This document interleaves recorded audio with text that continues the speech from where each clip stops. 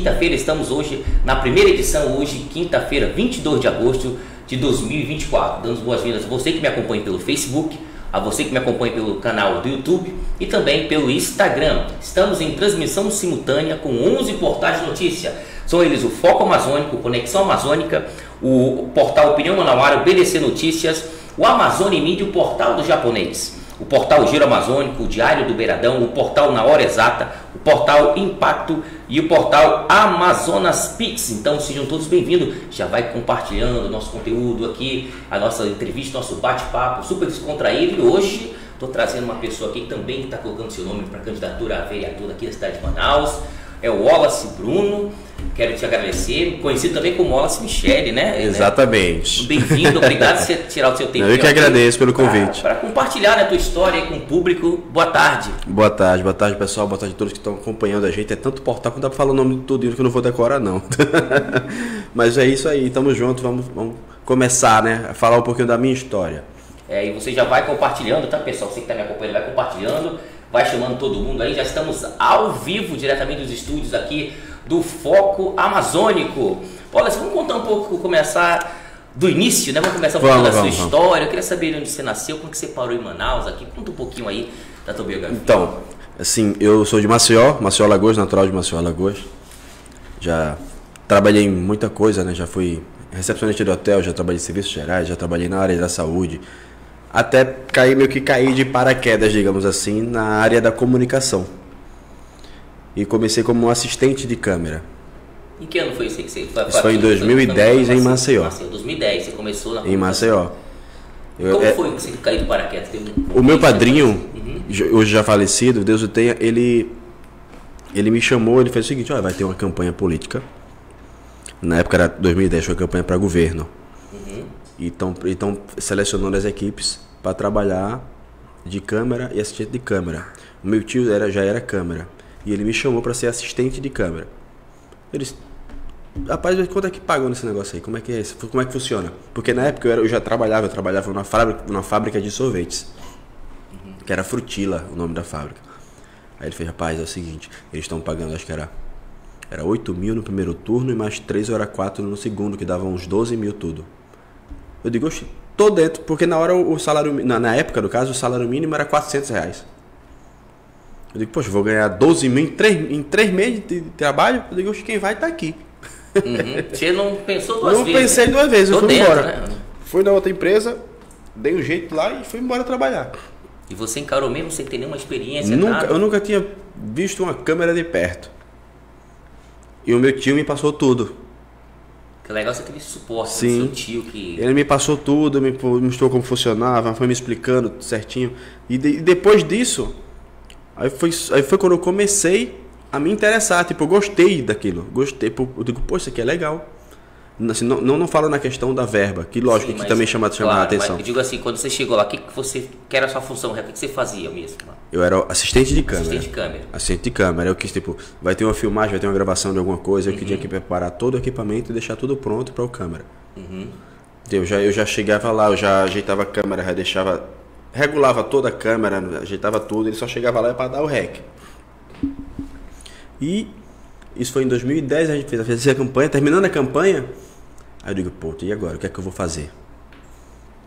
Tô, tô, já terminou, terminou a campanha, estou sem trabalhar.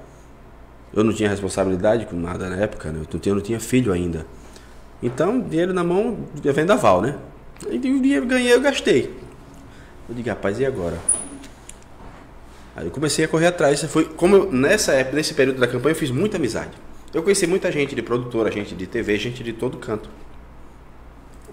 E o, o meu ex-patrão, ele, ele tinha um site que era o Emergência 190. Que depois que eu, que eu participei desse, que eu saí da campanha, eu comecei a trabalhar com ele. Ele tinha o Emergência 190, era só morte. Só morte. Era só morte. Era, e não tinha, na época não tinha tarja. Negócio de site, essas coisas, não tinha tarja. A gente mostrava, na, na, como é que fala? Nu e cru. Nu e cru. A gente tinha até um. A gente tinha uns, uns 10 a 15 é, cadastros no YouTube, porque sempre o YouTube derrubava um, por conta dos vídeos que a gente colocava. Que era, era o cara, acabou de ser assassinado lá e o sangue descendo, a gente chegava primeiro do que a polícia. Porque o site fez tanto sucesso que o povo já ligava pra gente, não ligava nem pra polícia. A gente que ia com a polícia. Igual aconteceu aqui, né? Que diziam até que o, o rapaz que mandava matar o povo. Mas não é, a questão não é essa. É porque quando você faz uma coisa que a população gosta, eles mesmos vão, vão atrás de você. Eles não vão nem atrás da polícia, porque o cara tá morto. A polícia não vai fazer nada, não vai resolver nada.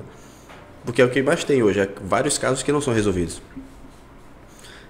E eles ligavam diretamente para a imprensa, que era a gente no caso. A gente chegava lá, cobria tudo.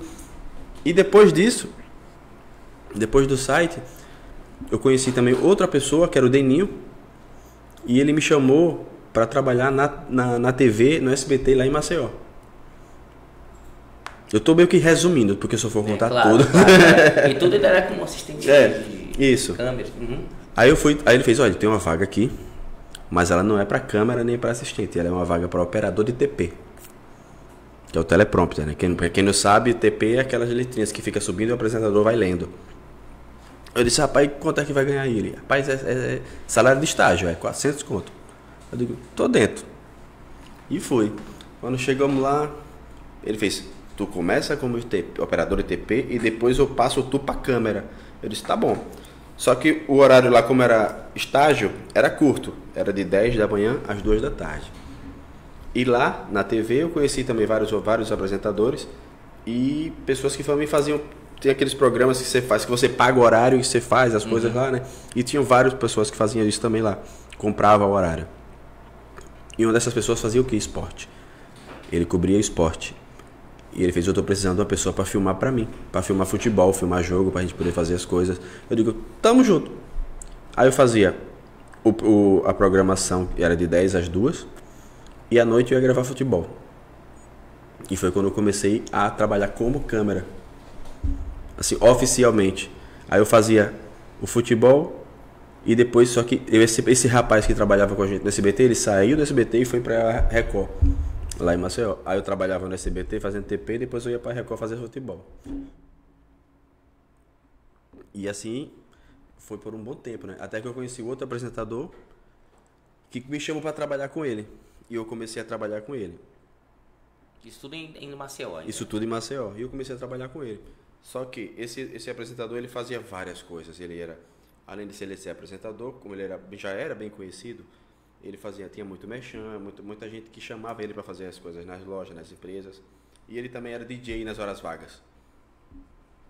E a mesma coisa que eu fazia para o câmera quando eu era assistente, que eu chegava lá, preparava tudo para o cara só filmar, eu fazia para ele quando ele era DJ para o apresentador.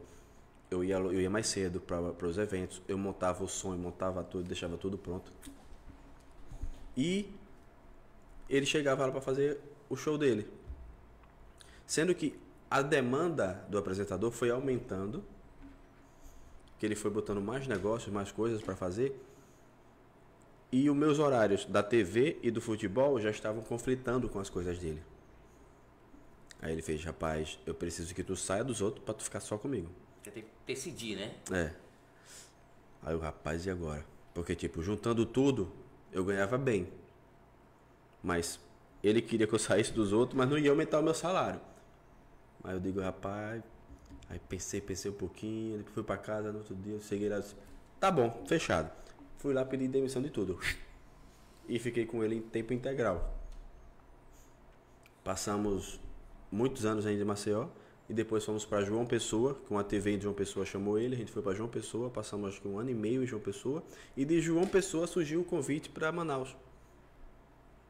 Que foi o, Betinho, Betinho que ligou, ele entrou em contato e a gente não eu não consegui é, responder, porque ele o apresentador no programa, ele dava o meu número para o povo ficar brin brincando comigo, para passar trota essas coisas, aí eu, eu enchi a caixa do WhatsApp que eu não conseguia responder ninguém. E quando aí, aí chegou uma mensagem dessa importante eu não consegui ver.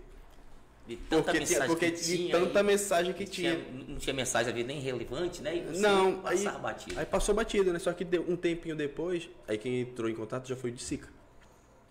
E aí ele ligou.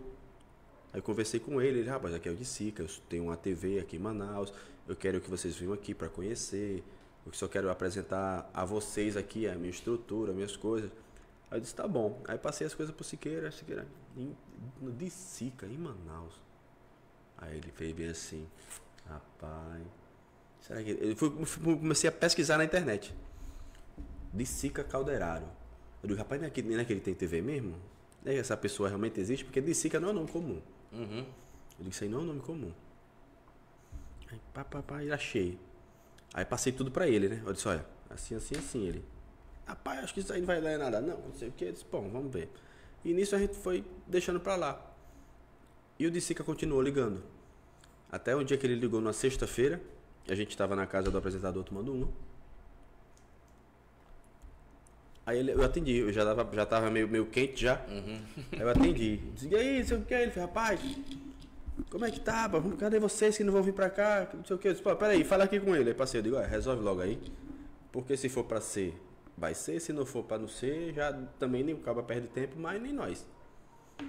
E sabe, pegou o telefone, saiu, conversou, conversou. Quando voltou, ele fez, ele disse que ia mandar as passagens pra gente ir lá conhecer. Eu disse, tá bom. Isso era na sexta. Aí quando foi na segunda, já foi a, a secretária dele que entrou em contato com a gente, a Liz. Aí mandou mensagem pra mim e falou, olha, é, eu preciso do nome de quem vai vir pra gente poder emitir as passagens, pra poder você dele vir aqui. Eu digo, aí eu fui pra ele, eu digo, olha, acho que vai rolar o negócio lá, lá de Manaus, ó. Mandaram mensagem aqui. Ele, tá bom, manda. Aí eu mandei os dados de tudo de quem ia. Que veio, no caso, veio eu, e o apresentador e a esposa dele.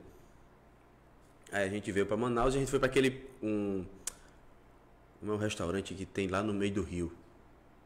Que é muito gostoso lá. Na verdade, são vários que tem, né? Mas Não, mas é um. É um, é um bem caro. Que o, o, o- dono da TV queria impressionar, né? E a gente tava chegando pra visitar ele e quis impressionar. Ele levou a gente no Amazon Fish. Ah, sim. Uhum. Amazon Fish. É, comemos lá. Ele, ele fez, primeiro ele fez, vamos dar uma voltinha de, de, de barco. A gente, eita, tomamos no chicote, vamos botar a gente pra remar, que a gente não, não sabia, não conhecia nada, né? Você não tinha ideia do que era Manaus. Não sabia, não conhecia. Eu nunca, eu nunca tinha vindo aqui. O apresentador já tinha vindo há muitos anos atrás, na época que o videocassete era sucesso. Eu só vinha comprar aqui na Ele vinha comprar Franca, aqui pra mais. revender pra lá. Entendi.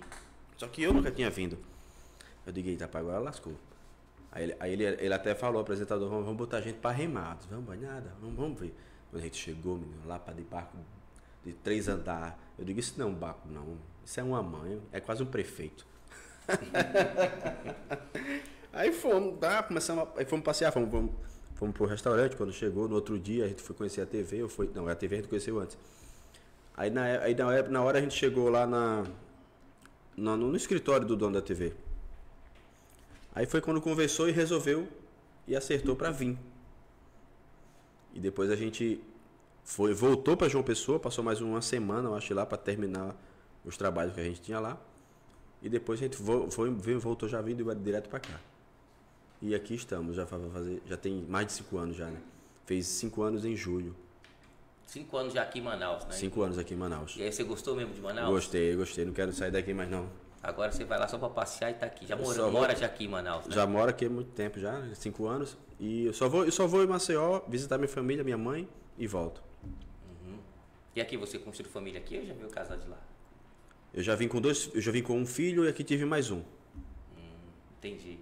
Bom, pessoal, estamos aqui acompanhando o nosso programa, o nosso bate-papo Conversa Aberta. E hoje estou recebendo o Wallace Michele, né, do Partido Progressista, candidato a vereador de Manaus. Estamos ao vivo, simultaneamente em transmissão, com 11 portais de notícias. São eles o Foco Amazônico, Conexão Amazônica, o portal Opinião Manauara, o BDC Notícias, o Amazônia Mídia, o portal do Japonês, o portal Giro Amazônico, o Diário do Beiradão, o portal Na Hora Exata, o portal Impacto e o portal Amazonas Pix. Vamos compartilhando e vamos juntos aqui ao vivo, diretamente dos estúdios do Foco Amazônico. E agora, já conhecer um pouco dessa história de TV, tá, de sucesso aqui em Manaus, né? Agora acho que você volta, né, a aparecer para todo mundo aí, mas como candidato a vereador Exato. de Manaus. Que a primeira pergunta que eu faço para você, o que que motivou você a entrar na política, já que você vê, né, a televisão teve notícias várias de político, né? O povo tem uma visão diferente do que é um político, a política. sim. E o que, que fez você decidir? Como é que foi assim? Quero saber a história para você chegar assim, não, eu vou colocar meu nome na política e cantar vereador. Isso essa é a pergunta que todo mundo me faz. Mas Michele, por que tu decidiu ser vereador? Por que você, tu quer se, meter nesse meio político? Assim, apesar de não ser do meio político, eu conheço muita gente, inclusive, influentes no meio também. E, e há dois anos atrás, queriam que eu viesse para candidato a deputado. É E eu- isso, e eu entrei em contato com o Eduardo Bolsonaro, que é, que é amigo meu. Mandei uma mensagem para ele e disse: Eduardo, estão me chamando para vir a candidato. Que é que tu me diz? E, e com a resposta que ele me deu, aí foi quando eu disse o quê? É, realmente não é a hora. E eu preciso me aprofundar e aprender mais. Saber onde é que eu estou me metendo. E foi aí que eu fui atrás. Eu fui, fui, fui até Brasília, conversei com, com o Eduardo, conversei com vários outros, outros eh, políticos já de muito tempo, que eu já conhecia também. E eles me passaram muita coisa, muito conhecimento. Eu e durante esses dois anos eu fui me aprofundar no meio político. Tanto que esse ano eu disse, agora eu estou pronto. Agora eu estou pronto para vir candidato. Estou preparado para o que vai vir, né? Porque você sabe, você se meteu no meio político, eles vão cascavanhar a sua vida até de coisa que você nem fez vão aparecer o que você fez. Verdade. O que você pode é, trazer da sua experiência profissional que você pode agregar na política? Olha, acho que eu, eu sempre fui o cara daqui dos, dos bastidores que sempre resolveu as coisas. Em todos os meus trabalhos, eu sempre fui o que resolvia, o que foi o, proativo. Eu nunca esperava ninguém mandar para me fazer as coisas, eu sempre ia lá e fazia. Antes que, que, me, que me pedissem, né, no caso. Eu acho que se eu, se eu conseguir resolver tanta coisa da vida de tanta gente, e no off, porque eu não posso ajudar a população? Não posso correr atrás também de coisas que beneficiem a todos. E por isso eu resolvi vir. E nessa sua campanha aí, na sua candidatura, quais são as bandeiras que você mais defende em prol da população? Qual é o slogan que você trabalha aí na política? Olha, a gente está defendendo, no caso hoje, a gente começou, até divulgamos aqui, e já teve até alguns comentários do pessoal dizendo, ah, que eu falei, a gente quer, quer fazer o terceiro turno das creches. Porque as creches elas já existem. As creches já existem. Mas o que é que a gente precisa? Tem muita mãe que virou mãe sem, sem assim, não diria sem o preparo, mas vamos dizer, de uma forma inesperada, vamos dizer assim, e que teve que deixar de estudar, teve que largar o trabalho, teve que, o, o trabalho o dia inteiro, não conseguiu mais estudar por conta da filha. E a creche de terceiro turno seria para quê? Para que as mães que deixaram de estudar, ou que querem se aprofundar para melhorar e crescer de vida, querem fazer uma faculdade, alguma coisa, tenham com quem deixar. Tenham com quem deixar a filha, porque eles vão dizer, ah, tem uma vizinha aqui que fica com a minha filha, vai me trabalhar de manhã e de tarde. Beleza. Mas quando você chega à noite, você tem que ficar com a sua filha. Então você não pode estudar. Então esse seria o- a creche que você quer dizer do A terceiro- creche de terceiro turno, que é para mães que querem voltar a estudar, ou, ou, ou vou terminar o segundo grau, ou fazer uma faculdade, ou fazer alguma coisa que melhore a própria vida e, a- e consiga também dar mais benefícios para os seus filhos. Isso ajuda bastante nessa creche, né? Um Exatamente. essa creche do terceiro turno, né? Isso, e outra coisa também é a, a- as UPAs, né? UPAs, é UPAs não, é o USF agora, né? O USF mudaram os nomes, né? O, U- era o UB UBS, agora é o USF. Se você, depois das 5 da tarde, você passar mal, você não tem mais nenhum USF funcionando. Você tem que ir pro 28. E isso sobrecarrega o 28 com coisas que poderiam ser resolvidas na USF. Aí você chega lá e tem que o cara está esfaqueado, ou que tem um acidente de moto, tá com a perna quebrada. Aí lógico que essas pessoas vão ter a- preferência e você vai esperar horas. E se tivesse a USF funcionando 24 horas, Então a ideia sua seria funcionar 24 horas, né? Com o hospital. Exatamente, que também é um projeto do Roberto Cidade. E que foi isso que também que eh, deu aquela afinidade com a gente. A gente precisa ter as UBS, o SF no caso, 24 horas. Tem que existir isso. Não pode 5 horas da tarde fechar e, e a pessoa não fica doente de noite, não. Verdade. De madrugada você está com o filho seu, passou mal, você não- você não tem uma, uma, uma SF dessa funcionando. Só, não, só 8 horas da manhã. Você tem que esperar para passar mal de 8 da manhã. Você não pode passar mal nesse horário aqui, não. Isso aqui você tem que ficar bom. Isso não existe.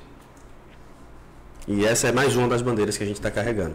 Como também acontece você ser atendido porque você mora em outra rua, em outro quarteirão, você não pode ser atendido ali. É, Você não, pode- você tem que ir para lá.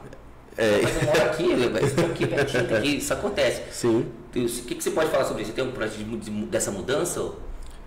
De, como assim? Essa mudança o quê? De, de, de ter. Eu não posso ser atendido nessa UBS aqui porque eu moro nessa rua, nessa vigência, eu tenho que ir para outro lado. É, cada um tem pro seu bairro, no caso, né? Mas eu, eu não acho que isso seja correto, até porque, tipo, você é meu amigo, eu vou, eu vou dar um exemplo, você é meu primo, você é minha família, eu tô na sua casa e passo mal na sua casa, eu vou ter que ir para casa para poder ir pro médico? Não existe isso. Não existe. Até porque eu também nunca, eu nunca presenciei isso. Eu não sei se alguém já passou por isso, mas eu, eu nunca passei por isso. Tem, tem isso mesmo. Tem, eu já passei mal no São Raimundo, eu sou diabética. Já aconteceu aí tudo mais. Em São Raimundo, e eu não podia ser atendida lá porque eu moro na cidade de É, tem, acontece bem, acontece aí. Tem Tá isso? aí, Nas acontece, OSFs isso? Acontece isso aí. Por isso- O pessoal pede muito, tipo, falando nisso que o pessoal fala sobre isso, que te ouve muita população também, o pessoal pergunta, como é que tem ido as tuas andanças aí com o pessoal, os líderes comunitários, tuas reuniões com ele? Qual, Olha, graças é a Deus você tá, indo. mais do pessoal? Graças a Deus está indo muito bem. A gente está indo, indo na- na- nas ruas, vendo os problemas, né? Muita gente fala, rapaz, por que você está vindo para a rua agora? Por que você não veio antes? Porque antes não era, não era a minha função. Não era uma coisa tipo que eu digo, não, eu vou fazer isso aqui, porque eu, eu trabalhava nos bastidores da TV. Eu sempre fui dos bastidores. Eu comecei a aparecer no programa depois. Mas eu sempre resolvi as coisas de bastidores para o programa funcionar. E agora, como eu estou nesse meio político, eu tenho que saber onde é que estão os problemas para que eu possa tentar resolver e correr atrás e batalhar por isso. E o que, que você mais ouve de reclamação, de queixa do pessoal dos líderes comunitários? É mais infraestrutura, é saúde mesmo? é Infraestrutura e saúde. segurança? É mais essa... Infraestrutura e saúde. Ontem a gente foi, foi Monte, é Monte das Oliveiras? São José de Oliveira. Monte das Oliveiras. Eu estava passando nas casas, as- a, a entrada da casa, a porta da casa, ela tem uma altura, acho que de uns 50 centímetros. 50 centímetros, todas as portas. E eu fiquei curioso, disse, por que isso aqui? Falei, não, porque quando chove a rua alaga. E ela sobe até aqui, a gente tem que subir o muro que é para a entrar dentro de casa. Inclusive tinha até uma igreja que tinha um muro também, acho que um- quase um metro assim acima, que é para a água não entrar na igreja. Por quê? Pela falta de infraestrutura da prefeitura. A população que teve que se adaptar, construir muro para a água não entrar, porque a, a- a prefeitura não foi resolver o problema.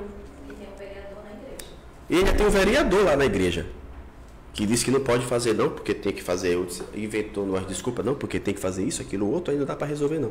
Enquanto isso, a população tem que subir as suas casas.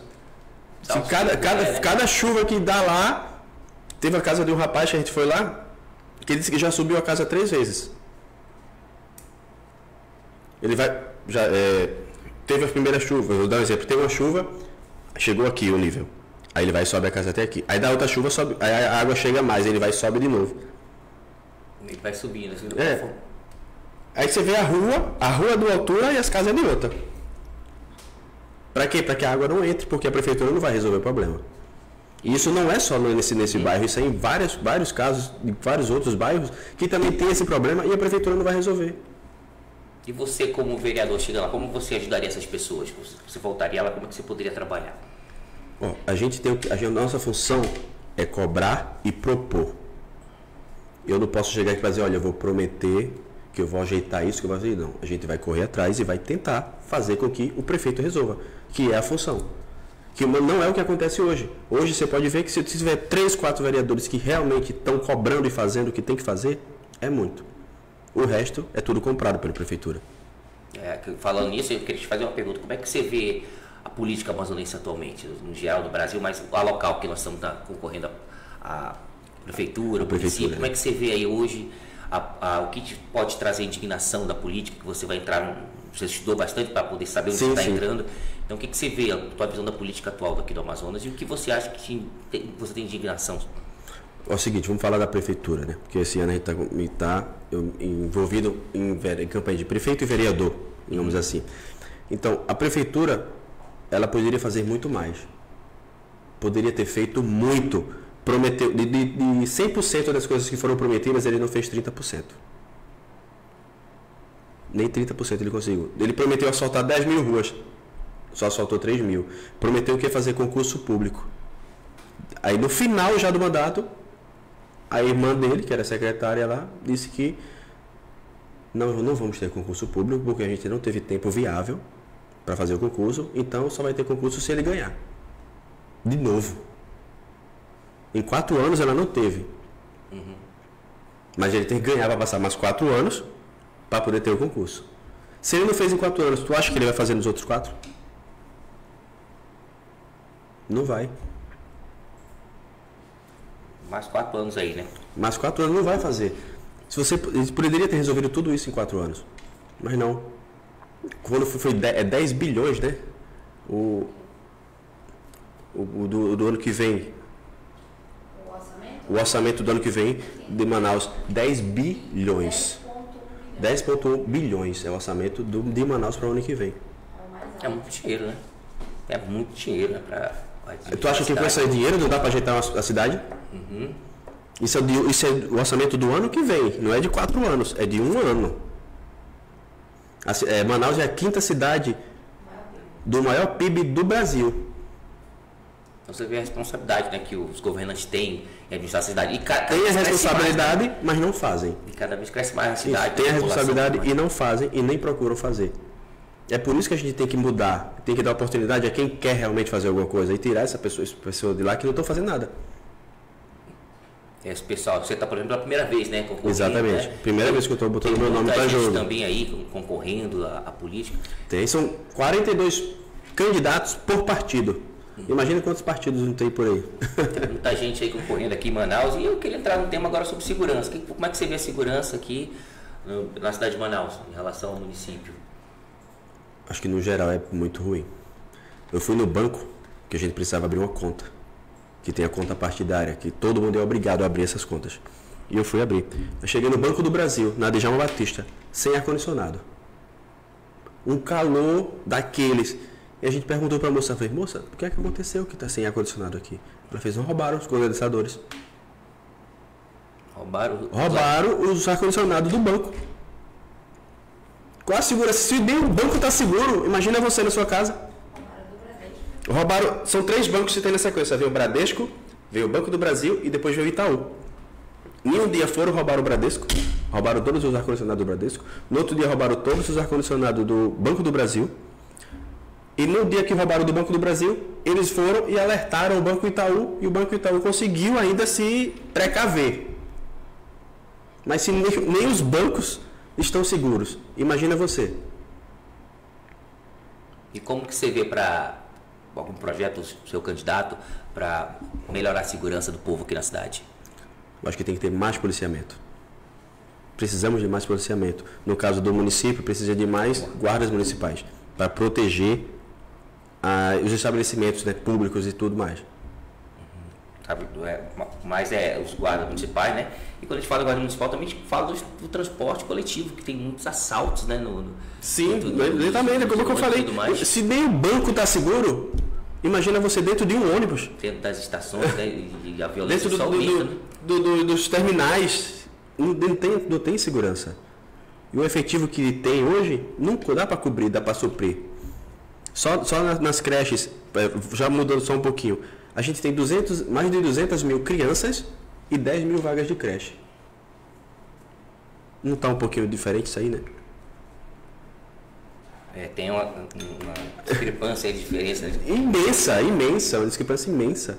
Se A gente tem mais de 200 mil crianças e 10 mil vagas. Como é que fica isso? E ainda estão achando que tem muita. Tem que construir muito mais ainda, creche, para que consiga suprir tudo isso. Imagina a, a luta para conseguir uma vaga numa creche aqui. É, eu, eu vejo o pessoal falando, né? O pessoal comenta muito que realmente falta creche, está notório. É um dos projetos do seu candidato, né? Exatamente. Tá Aumentar a quantidade de creches. E isso também é muito importante. importante hoje tem muitas mães solteiras, né? Tudo mais que, Sim. que a gente vê aí na, na cidade. Acho que é importante a gente estar sempre de olho nessa parte e cobrar, né? E eu, aliás, falando nisso, quando a gente falou sobre você visitar os líderes comunitários, né? Como eles receberam Sim. você, vocês recebem muito bem. E hoje você sente que a pessoa, o, o eleitor ele cobra mais? Sim, você é sim. cobrado lá, gente fala, ó, volta aqui, porque tem política. É porque que acho, acho, que, acho que o povo já cansou daquela velha política, né? Que a pessoa só aparece de 4 4 anos. E depois desaparece. Ganhou, some, não volta lá para cumprir o que ele disse que ia fazer. Não ajuda mais ninguém. Simplesmente você só, fosse, você só presta daqui a 4 anos de novo. E a o povo já cansou disso, o povo já sabe disso, já sabe como funciona. Só que infelizmente o povo ainda continua votando nessas mesmas pessoas. Fala do adesivo. Ainda continua, né? Hum? Eu, eu anunciei na- nas minhas redes sociais que eu ia, que eu estava colocando o adesivo perfurado nos carros. Eu disse, olha, quem quiser me apoiar e quiser que eu vá colocar o adesivo, me chama aqui no direct. Deixei também um WhatsApp disponível para que as pessoas entrassem em contato. As pessoas estão entrando em contato, querem saber quanto eu estou pagando, quantos litros de gasolina eu estou dando. Porque já estão mal acostumados com a velha política. Querem saber quanto é que eu, quanto é que eu vou pagar para poder deixar o adesivo no carro. Então não, disse, não, não existe então, o que você quer dizer seguinte, não existe, tá, não tá tendo aquele apoio, tipo assim, eu vou confiar em você, eu vou acreditar em Não, você. isso tá tendo. Só que tem tem, que ter a mui- troca. Não, tá tendo, só que tem muita gente que quer a troca, por quê? Já estão acostumados com isso. Querem é, querem, é, querem, querem fazer mudança, querem a mudança na política, mas não faz por onde. E como você responde essas pessoas? Chegou lá, quanto você vai me dar de gasolina? Quanto você vai Eu me digo, eu de digo, eu não estou pagando ninguém, eu não pago ninguém. Se você quiser me apoiar de coração e quiser acreditar no nosso projeto, você é bem-vindo e eu que vou na sua casa botar o adesivo. Agora a gente não paga ninguém. Aí a pessoa, algumas delas desistem, outras, não, pode vir e tal, como é que Não, umas, umas desistem e outras concordam e eu vou lá. bacana, isso mesmo, né? Você, É. eu acho que é legal você mostrar transparência, né? Sim. Pro, pro eleitor, mostrar que você indo lá, Como é tá que- lá. exatamente, como é que a gente quer mudança, quer as coisas novas com, as- com os mesmos vícios antigos, né, digamos assim. Uhum. Além de ser errado, que ninguém pode pagar para fazer isso. Claro. Bom, gente, estamos ao vivo aqui no nosso podcast, o Conversa Aberta. Eu estou recebendo aqui o Wallace Michele. Pela primeira vez é o candidato a vereador aqui na cidade de Manaus, está concorrendo às eleições. Estamos simultaneamente pelos, pelos canais digitais, como o Instagram, o canal do YouTube, o Facebook e os 11 portais de notícias comigo aqui acompanhando. Vocês seguidores do Foco Amazônico, Conexão Amazônica, o Opinião Manauara, o BDC Notícias e o Amazônia Mídia, o portal japonês, o portal Giro Amazônico, o Diário do Beiradão, na hora exata, o portal Impacto e o portal Amazonas Pix. Vai compartilhando, vai chamando aqui para nossa primeira edição do dia de hoje, nesta quinta-feira, aqui diretamente dos estúdios do Foco Amazônico, recebendo Wallace Bruno, Wallace Michele, aqui do Partido Progressista, que é candidato a vereador aqui, concorrendo uma vaga lá na Câmara Municipal daqui da cidade de Manaus. Falando em Câmara Municipal, caso você seja eleito, Wallace, como é que você vai, você vai criar um, algum um canal de, de comunicação com aquele líder comunitário que você conheceu ontem, que está conhecendo durante sua caminhada? Sim, é sim. é Eu, tô passando é o meu número pessoal para todo mundo. Porque às vezes as pessoas reclamam muito que quando. É, depois que a pessoa ganha, não tem mais acesso. Isso já falaram não tem também. acesso, como não é que consegue vou mais como é que eu falar. com o Wallace agora, aquele papo que a gente teve Sim. antes, poxa, eu quero lá te botar aquele projeto que tá precisando. Como é que Eu tô dando o meu número para as pessoas. Você vai ter o meu número, você vai falar comigo. E pessoalmente, você vai estar lá na, Tô lógico, a gente vai receber sempre todo mundo. Nós somos, é, como é que eu posso falar assim? O vereador, qualquer cargo público, nós somos funcionários do povo. Então, se o povo quer falar com a gente, a gente tem que resolver, tem que atendê-los. É isso mesmo, é, acho que é muito importante dar essa credibilidade pro povo, né? Você tá lá como político aí e ir nessa sua nova caminhada, né? De, de, de, de político chegar como vereador, né? E Sim. você acha, tipo assim, hoje se candidatar como vereador, você primeira vez, né? A pessoa tem que ter muita coragem, tem que ter planejamento e tem que se Tem. preparar. Sim. Né? Porque hoje Você tem que se preparar psicologicamente. porque hoje vê muitos, muitos políticos profissionais, políticos de carreira. Exatamente. Gente que faz da política um, um meio de vida. E a gente tem, tem que ter um conhecimento. É por isso que eu fiz aquela primeira pergunta para você no início do programa. É, que experiência você tem que te pode chegar- levar assim, poxa, eu vou ser um bom vereador, vou ser um bom político, vou estar de mudar com o povo, porque eu vim do povo tudo mais. Então acho que é muito importante o vereador conhecer os problemas da cidade, Exatamente. conhecer o que o povo quer, saber ouvir o povo e saber o que você acabou de falar, que é um servidor do povo, tá ali, é a casa Sim. do povo e tudo mais.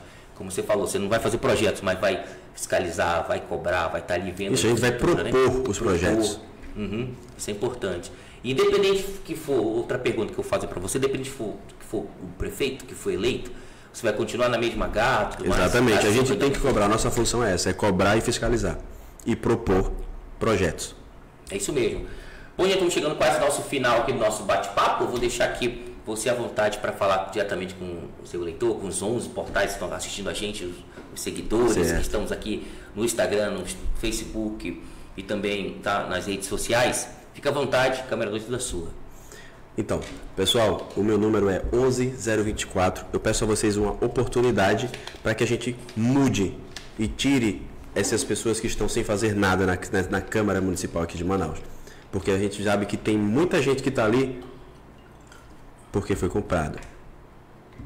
E a gente não pode deixar isso acontecer, não. A gente tem que ter pessoas que realmente trabalhem e fiscalizem e façam o que tem que ser feito. E não que recebam uma mesada para não fazer nada e concordar e só bater a cabeça assim, senhor. É isso. Ah, pode divulgar a tua agenda de amanhã? A minha agenda com ela é o que eu O que, que vai ter amanhã? Amanhã é sexta-feira. É, Amanhã nós temos caminhada com a cidade. a gente já vai caminhar, tá, tem pra todas as caminhadas com ele. Inclusive tem outra, tem uma hoje agora, quatro e meia. É a caminhada hoje, né, pessoal? Tem. Tem caminhada hoje no Petrópolis. Geralmente a caminhada toda tarde a gente tá indo. Também. Beleza, então. Estamos chegando ao final aqui. Eu quero agradecer sua participação. Mas Nada, eu que agradeço. aí, pessoal que está acompanhando a gente. Estamos chegando ao final da primeira edição do nosso bate-papo aqui, o Conversa Aberta. Primeira edição dessa quinta-feira. Daqui a pouco, às 16 horas, estamos ao vivo com a segunda edição do nosso programa. Te vejo lá. Agradecendo a todos os portais que estão com a gente transmitindo simultaneamente: o Foco Amazônico, Conexão Amazônica, o portal Opinião Manauara, o BDC Notícias, o Amazônia em Mídia, o portal de japonês, o portal Giro Amazônico e o Diário do Beiradão, o portal Na Hora Exata e o portal Impacto e o portal Amazonas Pix. Fiquem todos com Deus. Te vejo na próxima, candidato. Sucesso, que Deus Muito obrigado, muito obrigado. caminhada, né? Muito preparo psicológico e Exatamente. né? Nessa caminhada. Pessoal, fica com Deus, te vejo daqui a pouco às 16 horas aqui ao vivo com o nosso programa podcast Conversa Aberta. Fiquem com Deus. Tchau, gente.